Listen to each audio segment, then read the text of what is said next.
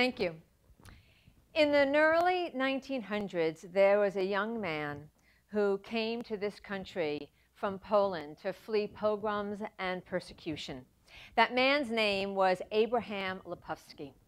And he came here to start a better life. He had no money, no job skills, and a limited education. But he came here so that he could improve the life of his future children, grandchildren, and great grandchildren. I am Abraham Lepofsky's youngest grandchild. I talk about Grandpa Abe. Now, I want to fast forward to 2011, and I find myself doing a job interview workshop in Phnom Penh, Cambodia, for 20 young adults. They are um, in their home as I give them their lesson. Their home is an orphanage where they have spent most of their lives. Like Grandpa Abe, they have no money, no job skills, and a limited education.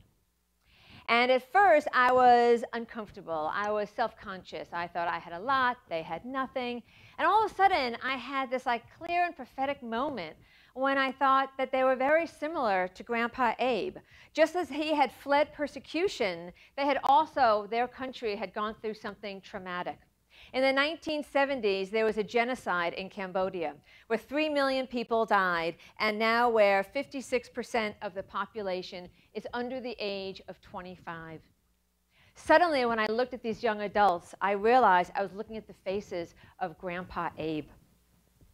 And I envisioned these adults suddenly as older adults changing their future generations, making the lives of their children their grandchildren and their great grandchildren to be better. And suddenly I realized I was like their proverbial grandchild.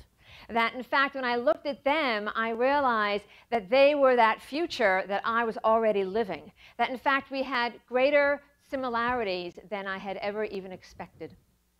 So the Cambodia of today is still rebuilding. And the Cambodia of today is the home of Angkor Wat, it's the largest temple complex in the world, and it's where millions of tourists come and travel. And where there are tourists, there are hotels. And where there are hotels, there are jobs. A former student of mine, Ben Justice, only 22 at the time, recognized this opportunity to offer hospitality training skills.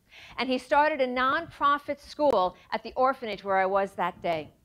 And he named that school EGBOK, E-G-B-O-K. And it's an acronym, and it means everything's going to be okay. And that phrase came from his grandfather, Pops, who signs his letters that way. And now EGBOK is five years old, and we have a freestanding school where our students learn hospitality skills, and we're about to break ground in a cafe so that our students can learn experientially while offering a memorable experience to the international tourists who are going to become our guests. So my career has entirely been in hospitality. I've always focused on trying to make people feel comfortable and welcomed.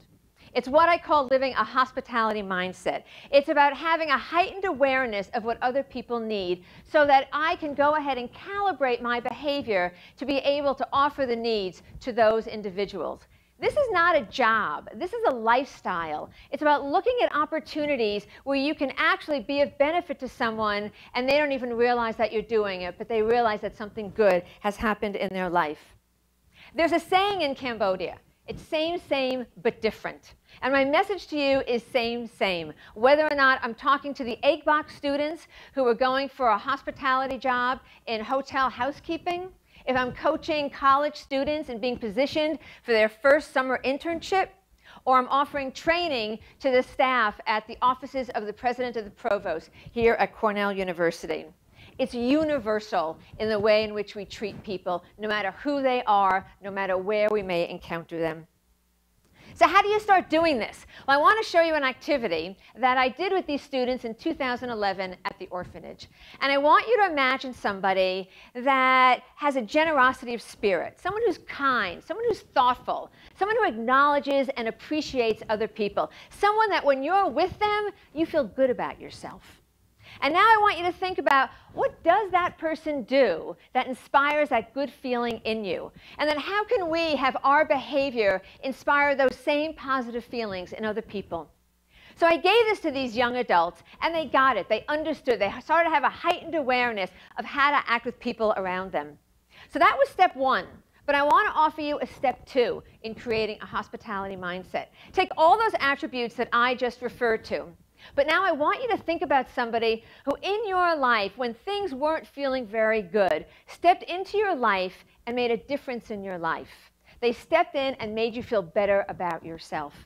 Now imagine if you went ahead and you emailed them tonight and you said that this person challenged you to think of somebody who, when things weren't going well, they made a difference, and that you had thought of this individual, that they had made a difference in your life. So the research on happiness shows that it's these small positive events that occur between people that really provide us with the most well-being. But if you really want to give somebody hits of happiness, and who wouldn't want to give people a gift of hits of happiness, is for you to buy a card that person will like, write the message in the card, put a stamp on it, put it in the mail, let them go through their pile of junk mail, and suddenly they're going to find this beautiful, lovely handwritten note that says that message that we just referred to. You know what's going to happen? They're going to read that note. They're going to reread that note. They're going to put that note on the refrigerator door. They're going to put it on their desk. They're going to put it in the bureau drawer next to their bed. This is where I keep those sweet notes. And I tell you, it does wonders when I'm not feeling my best. This is how you can provide that courtesy and those little moments of happiness. But also, research shows that the pain neurons that get triggered when you break a bone are the same neurons that get triggered when someone is ignored, diminished, and marginalized. Think of a hotel housekeeper.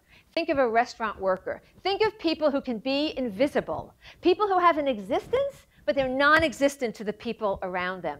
And just what would happen if suddenly you gave them a friendly nod? You gave them a warm smile. And you break through those walls of anonymity and shift someone from being invisible to suddenly being present and acknowledged by another individual. This is the kind of courtesy that I am talking about that we can do for one another.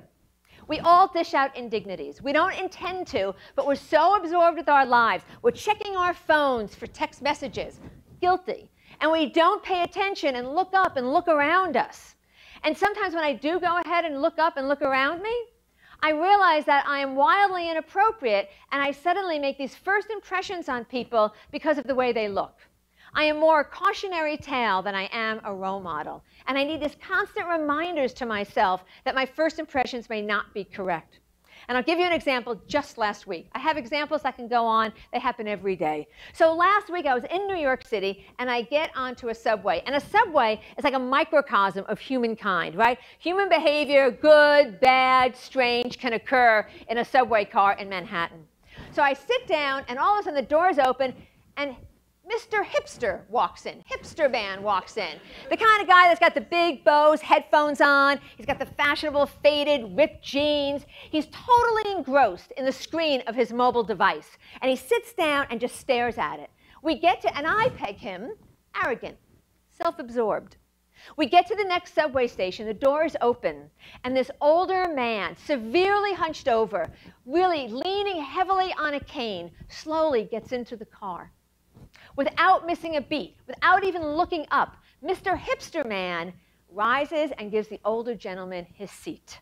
They look at each other, they acknowledge each other silently, and seamlessly and immediately, this wonderful gesture of courtesy occurs and unfolds.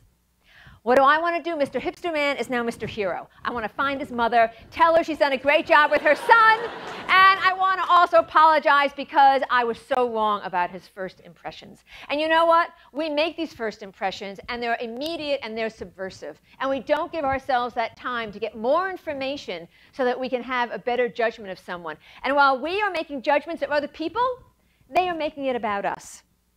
Sometimes good, sometimes bad, sometimes startling. So the next day, I get back onto the subway car, and it's packed, and a young man rises to offer me his seat. I am that old, frail man leaning on the cane in his eyes. I don't particularly like this perception. But do I take the seat? You bet I do. And I know that I always try and find a silver lining in no matter what the circumstances, particularly if it's in a packed subway car in New York City. But there's a bigger message, and that really is about our first impressions. And that if we think about seeing somebody and we think about our own life experiences and the commonality that we have with one another, we can really connect in a way that we never thought possible. If we have this hospitality mindset of having empathy and kindness and acknowledgement and patience with people, we find that we can connect in the most unusual and momentary ways that can improve our lives, their lives, and lives in general. You know, EGBOK is changing the lives of students every day. It's the most fulfilling thing that I have done except raise my daughters.